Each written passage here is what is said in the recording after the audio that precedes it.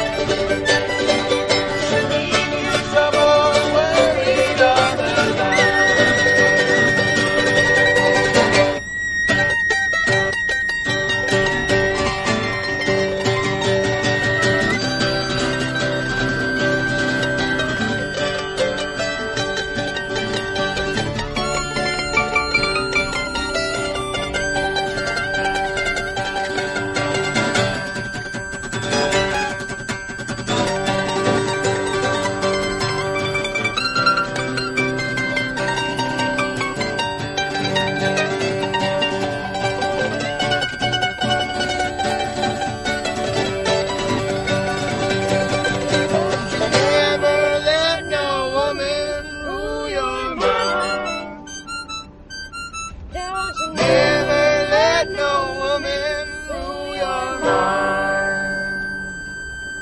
Because she